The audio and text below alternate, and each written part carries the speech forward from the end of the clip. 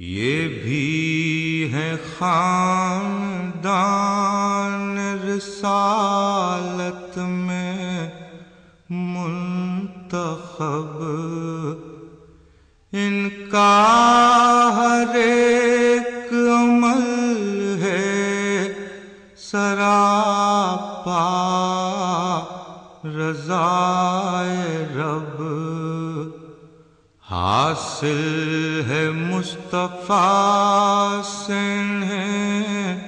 अजमत न सब। हक्का वही हशम है वही है बका की है पर तबे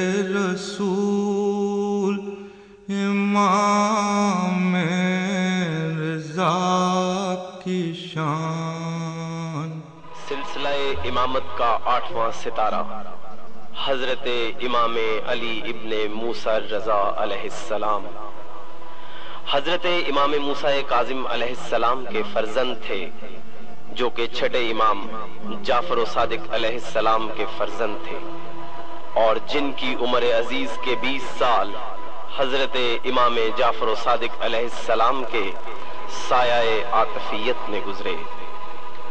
हज़रत इमाम अली इब्ने मूसा रजा अलैहिस्सलाम ने 11 जीकात 148 हिजरी को मदीना मुनव्वरा में विलादत पाई। आपका मशहूर तरीन लकब रजा और नाम अली है। हज़रत इमाम मूसा काजिम अलैहिस्सलाम फरमाते थे कि मेरे बेटे को रजा के नाम से पुकारा करो। इमाम रजा अलैहिस्सलाम ने बचपन और जवानी का जमाना मदीना मुनव्वरा में अपने वालिद बुजुर्गवार की शफकतों के साय में गुजारा और इसरार इमामत की तालीम हासिल की। यहाँ तक के मनसब इलाही, यानी इमामत को इख्तियार में लेने की इस्तेदाद सब पर आया हो गई।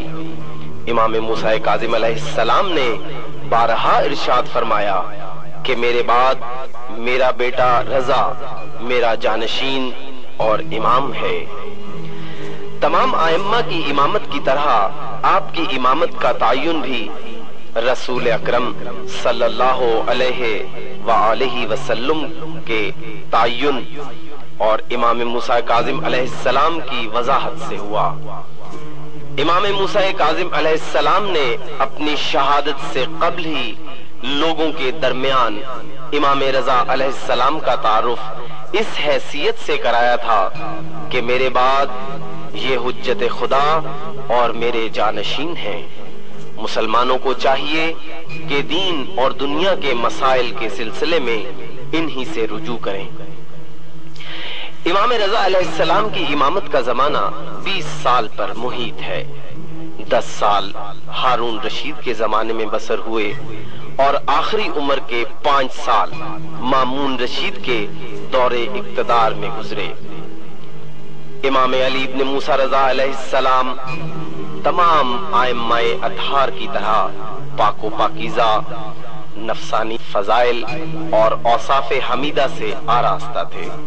जुहद इबादत, इल्म फरासत, जूदो सखावत खाकसारी और पारसाई में साहिब नमूना रसूल थे और अपने अजदाद की मानिंद थे। इमाम अलैहिस्सलाम के इल्म का मवाजना किसी दूसरे के इल्म के साथ नहीं किया जा सकता, क्योंकि इमाम का इल्म उनको खुदा वंदे आलम की तरफ़ से हासिल होता है और इल्हामी होता है। लेकिन इल्म और दीगर फजाइल कमालात के एतबार से आयम्मा ताहरीन अलैहिस्सलाम के दरमियान कोई फ़र्क नहीं होता और वो अपने इल्म की रोशनी फैलाते हैं, जिससे खुदा के दीन के अहकाम वाजे होते हैं। इमाम रजा अलैहिस्सलाम की शहादत अवाखिर माह सफ़र 203 हिजरी में मामून रशीद के हाथों हुई। मामून ने अपना जुर्म छुपाने के लिए और लोगों को दिखाने के लिए गरीबान जाग किया और शूरशियों के साथ शामिल हुआ। उसने बड़ी शान शौकत से जनाजा उठवाया, खुद रोता पीटता साथ चला और अपने बाप की कब्र के साथ इमाम अलैहिस्सलाम का जसद मुबारक दफन करवाया। इस वजह से इस जगह को अजमत और शौकत हासिल हुई और तकद्दुस इमाम अलैहिस्सलाम की वजह से मशहद रजा के नाम से मशहूर हुआ। मशहद महल्ले शहादत को कहते हैं, चूँकि इमाम अलैहिस्सलाम को यही जहर दगा से शहीद किया गया था, इसलिए इस जगह को मशहद कहा जाता है। मशहद मुकद्दस को बने 1200 साल का अरसा गुजर चुका है।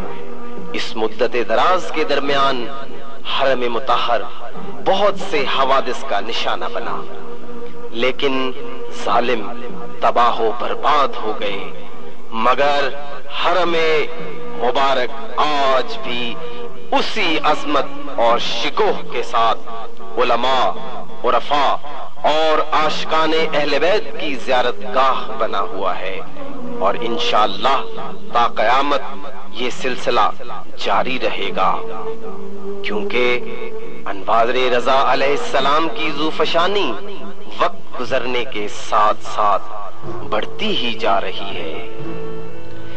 यकीनी तौर पर तो मालूम नहीं हो सका कि कब्र मुबारक इमाम रजा अलैहिस्सलाम पर ज़रिए मुबारक कब नस्ब की गई थी। अलबत्ता ये कहा जाता है कि आठवीं सदी तक मरकद मुबारक पर ज़रिए मुबारक नस्ब नहीं थी, बल्कि इस पर ताबूत नुमा संदूक नस्ब था। जिसका ज़िक्र इब्न बतूता ने भी अपने सफरनामे में किया था।